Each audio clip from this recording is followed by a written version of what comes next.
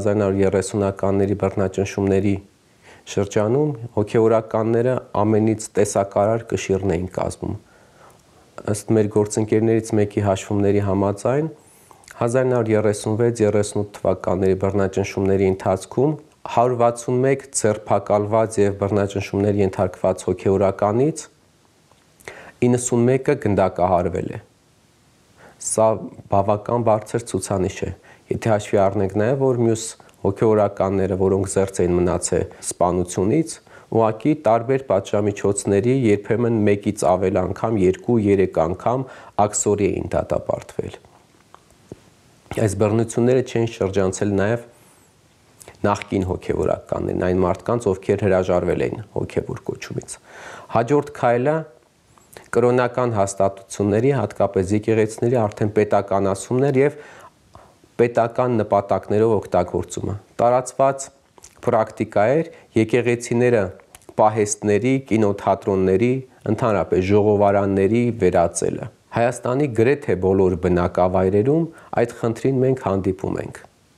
Բանը հասնում էր երբեմն նրան, որ գյուղական բնակավայրերից հեռու գտնվող հատվածներում եկեղեցիները ոչ միայն պահեստների էին վերածում, երբեմն նաև անասնագոմերի տարբեր միջոցներով խոչընդոտում եկեղեցական արարողությունների կատարումը մատաղի, հատկապես մատաղը, որ բնակության շրջանում մեծ ծավալ էր կազմում։ 1938 թվականին Խորեն առաջին կաթողիկոսի մահվանից հետո երկար ժամանակահատված նոր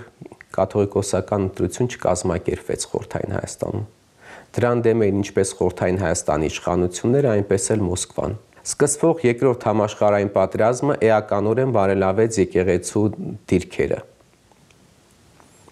Պատերազմի շրջանում ընդհանրապես մարդկանց մոտ մեծանում է կրոնական հավատալիքները։ Մանավանդ 1941 թվականին սկսված հայրենական պատերազմից հետո, երբ որ մեծ քանակ էին կազմում Հայաստան եկող սև թղթերը, հա, մահվան վկայականները զինծառայողների, Պետությունը հասկացավ, որ եկեղեցին կարող է այս առումով օգտակար դեր կատարել մարդկանց մխիթարելու տեսակետից, հատկապես մայրերը իրենց մխիթարությունը կարող էին գտնել եկեղեցիներում աղոթելով հոգևորականների հետ զրույցների միջոցով։ Սա կտրուկ փոխեց եկեղեցու նկատմամբ վերաբերմունքը։ Հաջորդ պատճառը, գուցե նաև զուտ անհատական դրսևորում էր, կաթողիկոսական տեղապահ Գևորգ Չորեքչյանի դիրքորոշումն էր, որ խորթային իրավակարգի նկատմամբ առավելապես լոյալ տրամադրված գործիչներից էր։ Եվ պատերազմի սկսվելուց անմիջապես հետո, արդեն 1941 թվականի հուլիսին Գևորգ Չորեքչյանը հանդես եկավ կոչերով ուղված աշխարհասփյուր հայությանը, հորդորելով տարբեր կերպ օժանդակել պատերազմի մեջ գտնվող խորթային Հայաստանին եւ ֆինանսական տեսակետից եւ նաեւ ռազմական դեղորայքի հանգանակությունների առումով։ Գևորգ Չորեքչյանի հորդորների արդյունքում էր, որ Սփյուռքահայերի կողմից հանգանակված գումարների հաշվին, նշեմ, որ մեծ մասը գումարների տրամադրել էր Ամերիկահայությունը, ստեղծվեց Սասունցի Դավիթ տանկային շարասյունը, որը արդեն 1944 թվականին մարտի մեջ մտավ Խորթային միության բանակների կազմում, սա էականորեն նպաստեց եկեղեցու դերի ու նշանակության մեծացմանը եւ նաեւ Չորեքչյանի հեղինակության բարձրացմանը խորթային իշխանության մարմինների մոտ, ինչպես Երևանում, այնպես էլ Մոսկվայում։ Արդեն 1944 թվականին, ինչպես խորթային մյուս հանրապետություններում, Հայաստանում եւս ստեղծվեց մի նոր կառույց, կառավարությանը կամ մինիստրների խորհրդին կից կազմակերպվեց հայ եկեղեցու գործերի խորհուրդ։ Եկեղեցու գործերի խորհրդի ղեկավարը փաստացի դառնում էր կրոնական հարցերով կամ եկեղեցական հարցերով պետության թիվ 1 պատասխանատուն եւ իր իրական գործունեության հիմնական բաղադրիչը եկեղեցուն հսկողության տակ պահելն էր եկեղեցուն կաթողիկոսին հոգեվորականներին եւ ընդհանրապես տարբեր կերպ միջամտելով եկեղեցու հետ հարաբերություններին եւ ըստ այդմ էլ ամենայն հայոց կաթողիկոսը պետության հետ հարաբերվելուց պետք է հաշվի առներ եկեղեցու գործերի խորհրդի նախագահին Հա նրա միջոցով էր նամակներ, դիմումներ, խնդրագրեր ուղարկում իշխանության տարբեր ներկայացուցիչներին։ Արդեն 1945 թվականի ապրիլին տեղ ունեցավ ժամանակի համար աննախադեպ մի իրադարձություն։ Ընթառաջելով կաթողիկոսական տեղապահ Գևորգ Չորեքչյանի խնդրանքներին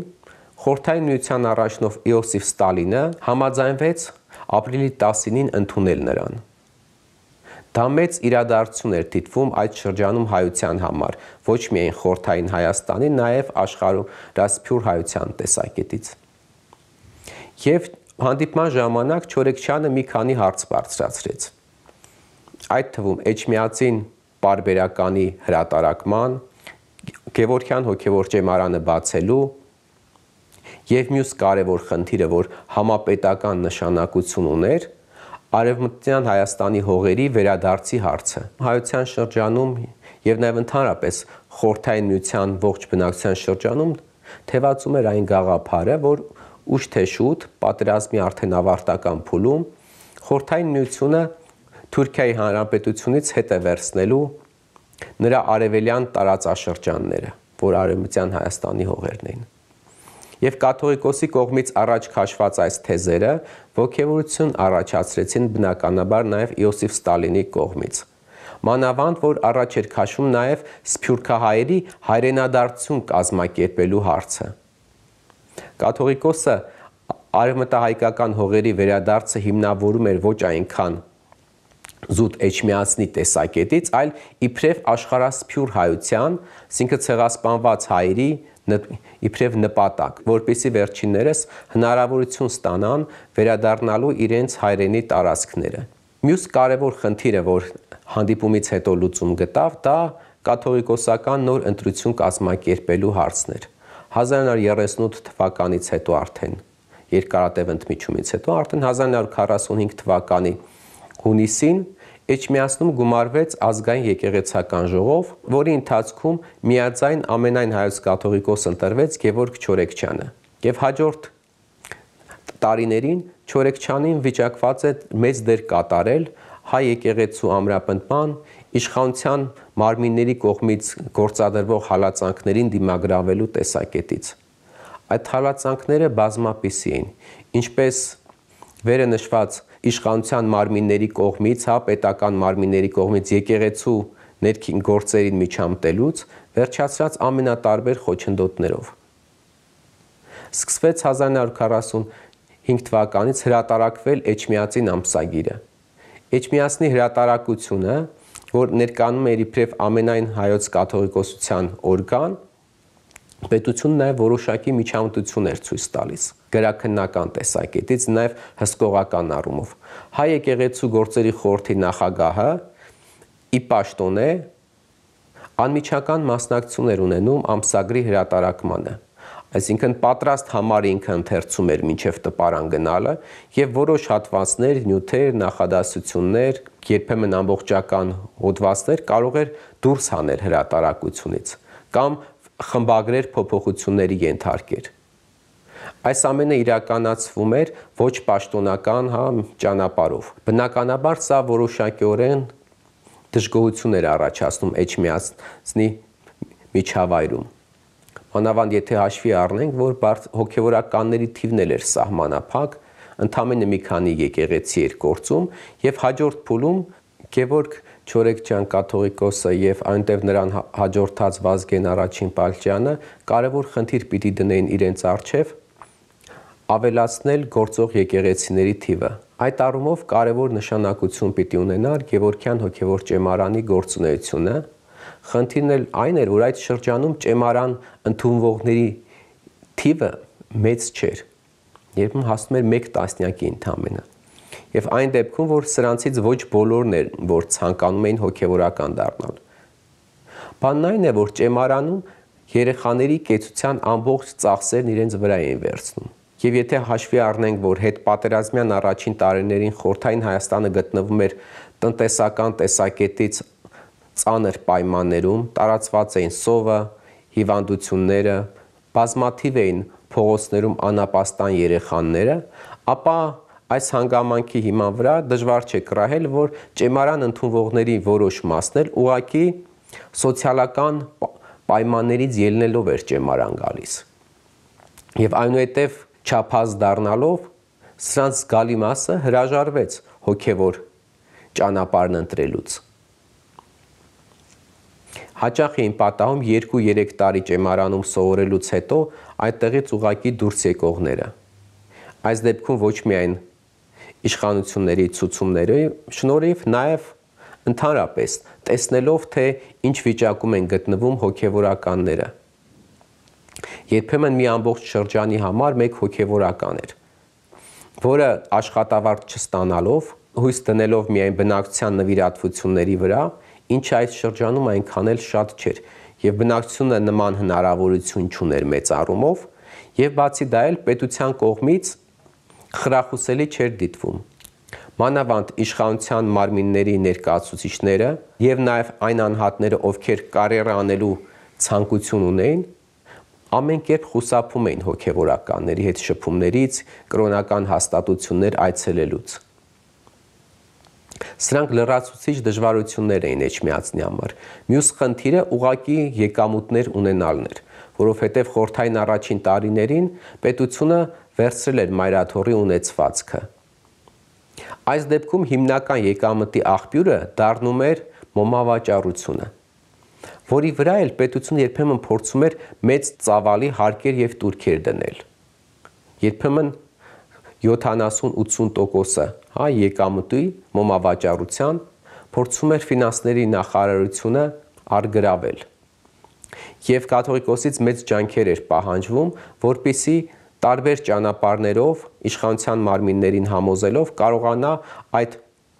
գումարները պահի մայրաթորում, որտեղ դրանք պետք են ինչպես վանքի կարիքները հոգալու, այնպես էլ հրատարակչական, քարոշչական աշխատանքների համար։ Գևորգ 6-րդ կաթողիկոսի մահից հետո 1955 թվականին նոր կաթողիկոս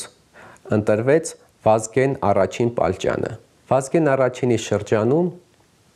էականորեն ավելի նպաստավոր պայմաններ ստեղծվեցին եկեղեցու համար։ Արդեն 1957 թվականին Վազգեն առաջինը մի քանի դիմումներ ուղեց Խորթային Հայաստանի ժող կառավարության ղեկավար Անտոն Քոչինյանին։ Եվ այդ դիմումները տվեցին իրենց արդյունքը, որ արդեն 3 եկեղեցիներ, այդ թվում Ստեփանավան քաղաքում վերաբացվեցին։ Հաջորդ տարիներին ժամանակ առ ժամանակ կաթողիկոսը հարմար առիթներ էր փնտրում եւ իշխանության մարմիններին էր դիմումներ ուղարկում, խնդրագրեր տարբեր եկեղեցիների վերաբացման նպատակով։ Սրան նպաստում էր նաև այն հանգամանքը, որ բնակչությունը ինքը եւս երբեմն հանրագրեր էր պատրաստում եւ դիմում իշխանության մարմիններին եկեղեցիները վերաբացելու խնդրանքով։ Եկեղեցիները վերաբացելուց հետո առաջնային հարցերից մեկը, որ արդեն ծառանում էր, այդ կառույցների վերանորոգման հարցն է։ Եթե մենք նայենք Հայաստանի տարածքում գործող գոյություն ունեցող եկեղեցիներին, կտեսնենք, որ մեծ քանակով վերանորոգումներ են իրականացվել հատկապես 1960-80-ական թվականներին։ 80-ականներն այդ առումով իհարկե անկրկնելի էին, երբ որ բազմաթիվ խոնարհված եկեղեցիներ նոր շունչ ստացան։ Սա ինչպես պետության եւ եկեղեցու համագործակցության արդյունք էր, Նաև առավելապես սա էլ պետք է անպայման շեշտել, Խորթային Հայաստանի իշխանությունների ընկալման արդյունք էր իբրև եկեղեցիները մշակութային արժեքներ դիտարկելով, ոչ միայն կրոնական։ Այդ էր պատճառը, որ վերանորոգում էին ոչ միայն բուն բնակավայրերում գոյություն ունեցող եւ ապագայում գործելու հնարավորություն ստանալիք եկեղեցիները, այլև հերավոր տարածքներում գտնվող եւ ընդհանրապես միայն մշակութային արժեք ներկայացնող եւ հավանա քիչ հավանականություն ունեցող այ այնպիսի եկեղեցիներ, որտեղ կարող են կրոնական արարողություններ իրականացվել։ Վազգեն առաջին կաթողիկոսի գործունեության շրջանը առանձնանում է նրանով, որ ինքը կարողացավ քայլ առ քայլ մեծացնել եկեղեցու ունեցած դերն ու ազդեցությունը բնակչության նկատմամբ։ Այստեղ որոշակի դեր ուներ նաև նրա մարդկային կերպարը, ունեցած ազդեցությունը ուղակի բնակչության վրա։ Չնայած այս հանգամանքին պետությունը եւ շարունակում էր տարբեր ճանապարներով խոչընդոտել կաթողիկոսության գործունեությանը։ Անմենապարզ օրինակներից մեկն էլ արտերկրից Էջմիածնի հասցեով ստացվող գրականության խնդիրներ, երբ որ դրա ամբողջությամբ չէր տրվում կաթողիկոսին։ Հայ եկեղեցուի գործերի խորհուրդը ընտրում եւ ֆիլտրում էր այն նյութերը, որոնք ըստ իրենց նպատակահարմար են, որպիսի կաթողիկոսը ծանոթանա, իսկ որը ըստ իրենց նպատակահարմար չէ, մի կողմ էին դնում։ Նպատակահարմար նյութերի դեպքում այն ժամանակվա տերմինով ասած առաջադեմ գրականություններ այսինքն խորթային միության եւ կոմունիստական կուսակցության նկատմամբ բարեկամաբար տրամադրված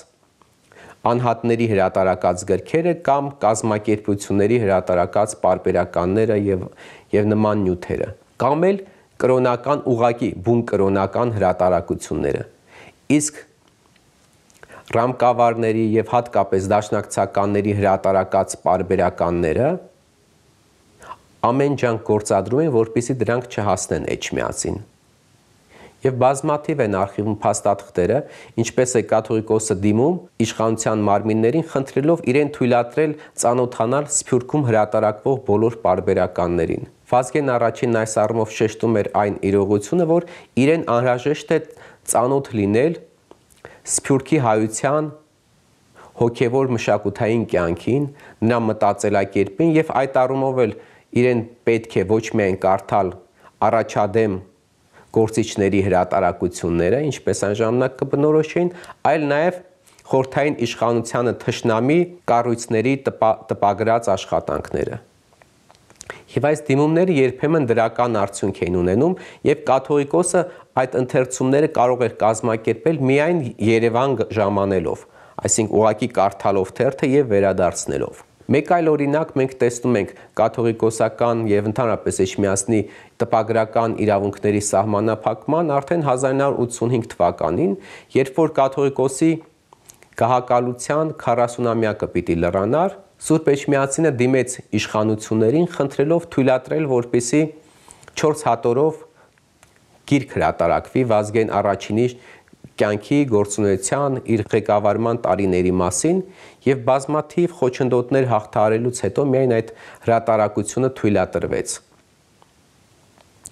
Արդեն 1988 թվականին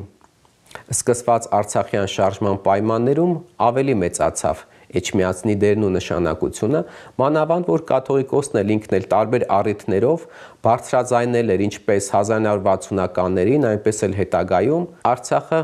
խորթային Հայաստանին վերամիավորելու հարցը։